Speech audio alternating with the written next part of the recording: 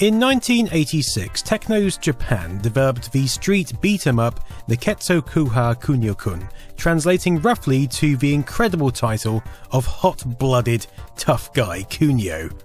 It was supposedly based around the youth of developer Yoshihisa Kishimoto, named Kunio in the game after Technos founder Kunio Taki. In the game, just like his youth, Kunio is keen to kick the gang related ass repeatedly after his friend, Hiroshi. Thankfully for you and me, it was released as Renegade in Western regions and instead follows what would become a familiar story of a guy who's keen to destroy successive rounds of gang members in order to rescue his captive girlfriend. But regardless of backstory, it was a crucial point in video game evolution this is the game which created the arena side-scrolling beat-em-up genre. Without Renegade, we wouldn't have titles like Final Fight, Streets of Rage, Cadillacs and Dinosaurs, River City Ransom, or the phenomenon of Double Dragon. Double Dragon was also developed by Technos, with the odd nod to its predecessor and forming the immediate technological successor to Renegade and because of that, had some notable differences. The hardware now consisted of multiple processing units, adding a 1MHz Hitachi 63701 8-bit microcontroller to dual 3.5MHz Hitachi 6309 CPUs. This allowed for richer, detailed environments with larger and more on-screen sprites. However, Double Dragon pushed the limits and would still suffer from slowdown during crowded segments. You could now arm yourself with weapons also, allowing for taking down those hench abobos.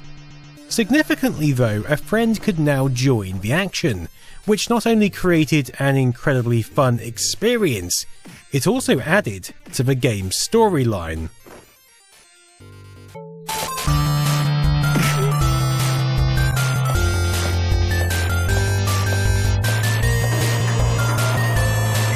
Yes, that incredibly articulated storyline. After receiving a swift gut punch, a woman named Marion is kidnapped by the partially undressed Black Warriors gang right outside the finest pub in the land, the English Tier. Brothers Spike and Hammer, who sound like a bad jazz duo in their westernized incarnations, swiftly exit from their Matin garage and the Interceptor style car to begin the process of kicking the crap out of every single topless West Side punk en route to retrieve their hapless friend. And whichever incarnation you look at, the story is very similar.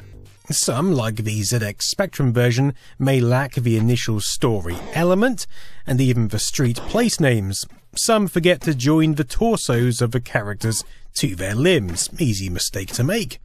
Some don't bother with wanted posters or even arcade accurate levels, but whatever version you're playing, you can be sure that none of them expand out English tier to be English tea rooms like perhaps it ought to be. I grew up mostly playing ZX Spectrum and Atari ST versions, alongside my brother David or friend Michael respectively. These versions, although far from the best, are equally far from the worst, and let you tackle level upon level of enemy brutes alongside your faithful brother, who should really be called Billy and Jimmy Lee rather than Spike and Hammer. Let's cut that out right now. But regardless of names, there's a twist to this little game, but only happens in two player mode. In single player mode, you go from level to level, kicking various degrees of ass, until you finally come face to face with Willie Mackey. He was there at the start too, if you remember. Kick the crap out of him and his machine gun, and your girlfriend Marion will automatically fall from the wall, walk over, and plant you square on the lips. Hooray. Her modesty will depend very much on which version of the game you're playing and the choices of the developers. But two player games take a rather darker twist than a pair of pants. A twist so dark that I'm going to have to try and account for it right here in this video using a series of disconnected, strewn out facts and anecdotal evidence. Any normal person would expect that once Billy and Jimmy had fought together tirelessly to take out all these enemies, Marion would just be overjoyed to see them both. Billy would shake Jimmy's hand, and then Billy and Marion would go home, with Jimmy perhaps going home to his bedsit or wherever he lives. But no, once Willie is dead, you have no choice but to kill your brother. It's one on one. All your previous brotherly love is gone. All the side by side elbow punching teamwork you've been through, erased. It's now Billy versus Jimmy until the bitter end. And rather than being abjectly horrified by this, whichever brother triumphs, leaving the other dead in a pool of his own blood, is embraced and kissed by Marion. Doesn't matter if it's Billy or Jimmy, she doesn't seem to care.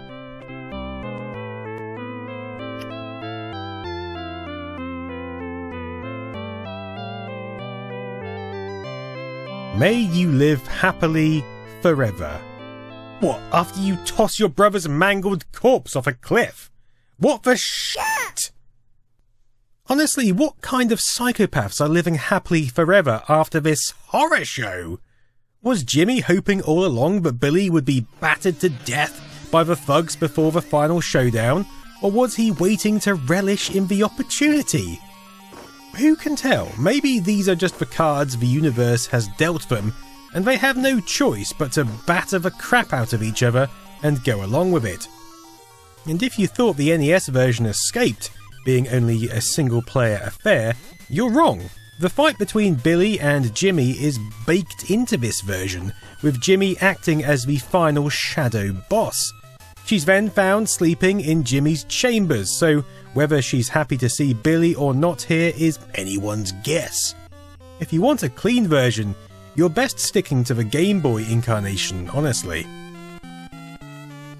I know I've spoken about this before in other videos, and you were probably well aware of this situation, but it's such a cold and dark ending to a video game that I haven't been able to get it out of my head for over 30 years. So, where do we start looking for the reasoning behind this horrendous finale?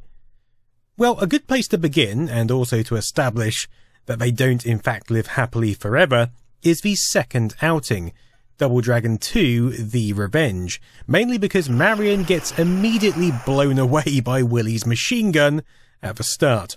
The PC manual tells us Billy and Jimmy didn't kill all the warriors. The solitary surviving member of the gang nursed herself back to health and spent several years studying ancient oriental arts of healing. So, essentially, Linda brought the old gang back to life, and I presume Billy or Jimmy as well, because, well, neither of them are dead. Although they certainly look different in certain artwork, particularly the ZX Spectrum release.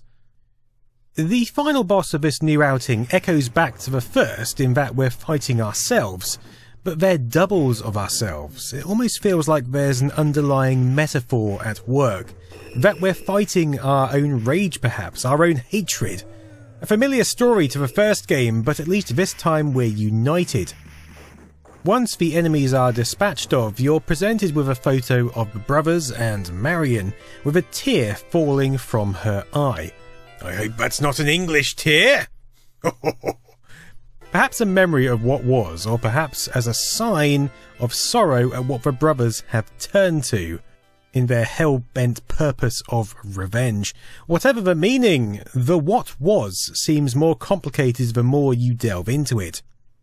In 2013, Gravity Co. Limited developed a kind of reboot of the second game with the absolutely atrocious Double Dragon 2 Wonder of Dragons, released on the Xbox 360 marketplace.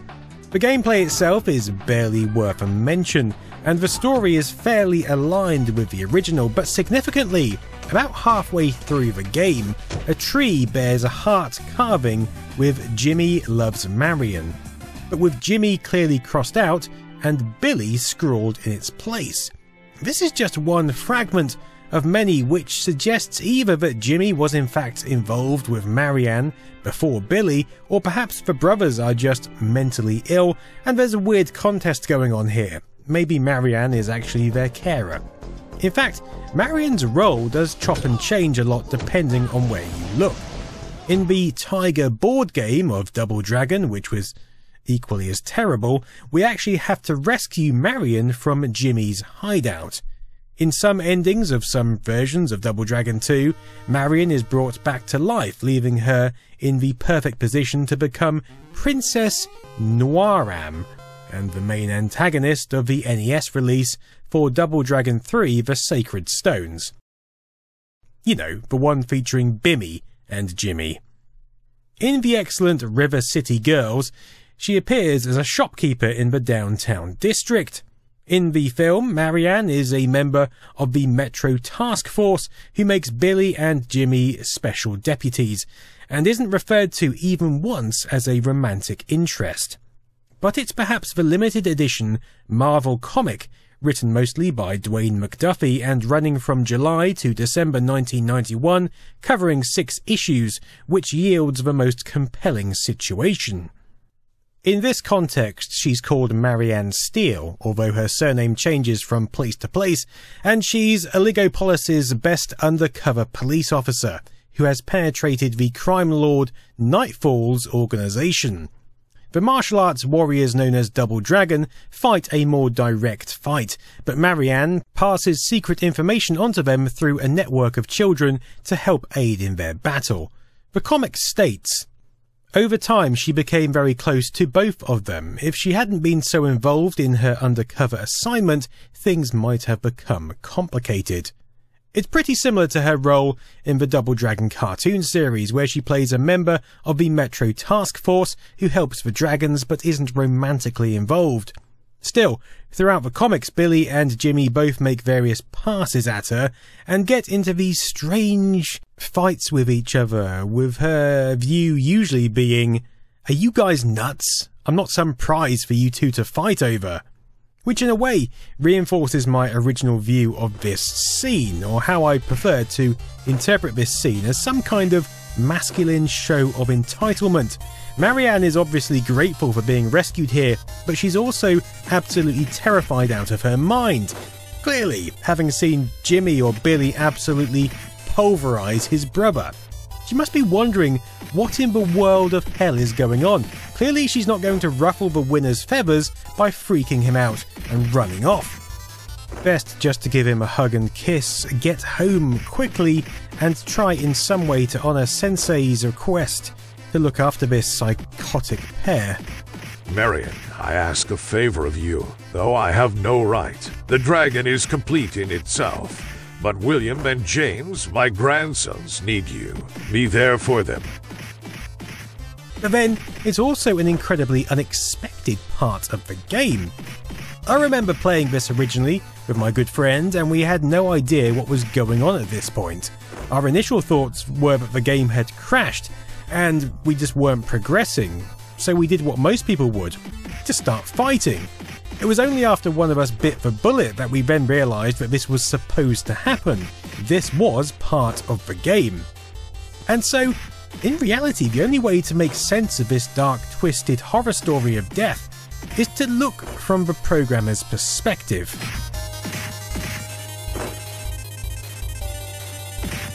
It's an incredibly clever and concise manner to funnel a two player game through the same ending seen as a one player game, saving the programmers not only from having to program multiple endings, but also saving precious ROM, with Double Dragon already consuming a megabyte's worth on the original hardware. And there's certainly evidence that the developers were trying to finish up in a hurry. There are three unused backing tracks in the game, with one specifically that sounds like a game ending tune. Whether this was intended for an alternate ending sequence is unknown, but it certainly leaves questions. I mean, it's actually a really good tune, I'm a bit upset it was missed out. But saving time and effort isn't the only reason for an ending like this. It's also a clever way of creating an ultimate victor making kids pour money back into the machine for a rematch. After all, the two player mode was already ensuring it was getting twice the money of a single player cabinet. So, of course, people were going to go through the entire game again just to pit each other off at the end, helping to make Double Dragon one of the most successful arcade machines of its era, and hence why you'll find the slogan You'll never have to stand in line to play Double Dragon again on the back of most home ports. This, after all, was the first cooperative game of this type. It was an utter sensation as it was, but incorporating a one on one fighter at the end between players is frankly, well, it's genius.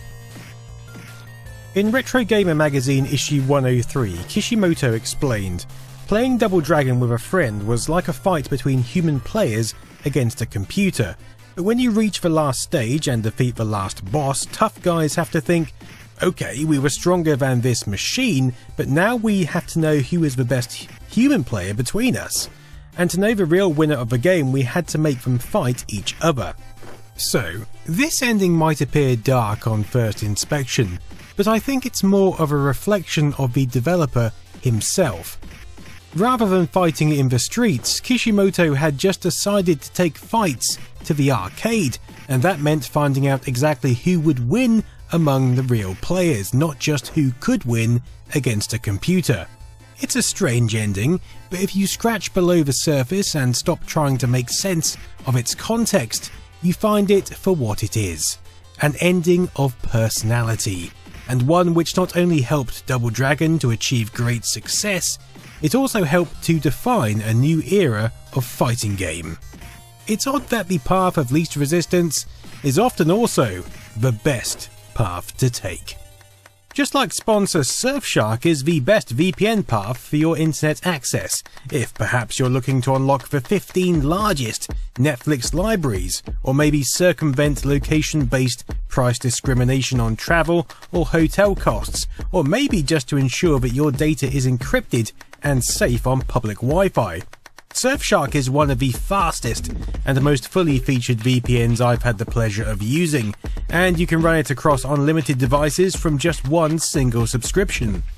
Surfshark has proven IP and DNS leak protection, industry leading encryption, and a strict no logs policy through their RAM only server network. You can access over 3,200 servers in 65 countries, use one of their many static IPs, make use of multi-hop, putting two VPN servers between you and your connection.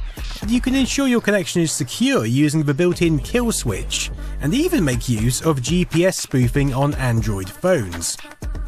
They also offer 24 7 live customer support and a 30 day money back guarantee just in case. Get Surfshark VPN using the link below and use code NOSTALGIANERD for 83% off and an extra 3 months for free. Until next time, I've been Nostalgia Nerd. Toodaloo.